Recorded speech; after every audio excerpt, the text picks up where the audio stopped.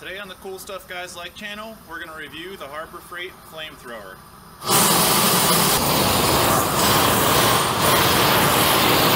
So this thing seems to be built reasonably well. I think it costs about 20 or $25. Um, it's got an automatic igniter right here. It's sort of like a, a grill starter. And I don't know if you'll be able to see this, but if I click the igniter, it makes a little spark. Um, so what you do to start it is you basically open this valve here and then click the igniter. Sometimes it takes a couple clicks, but it seems like it actually works pretty good. And what that is is kind of like a like a pilot light. And then of course if you really want to open up the propane, you just hit the, the trigger here. It's really loud.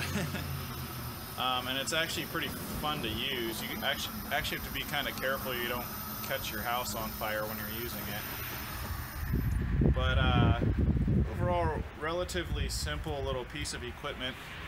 Um, it hooks into just a normal propane tank like you'd have for your, your gas grill. So this here's a 15 pound propane tank. And normally your, uh, your regulator would mount to the outside threads here. But in this case, uh, this this hose threads into the inside threads of your your valve here. So pretty cool little toy. And uh, now I'm going to show you some some general uses for this thing.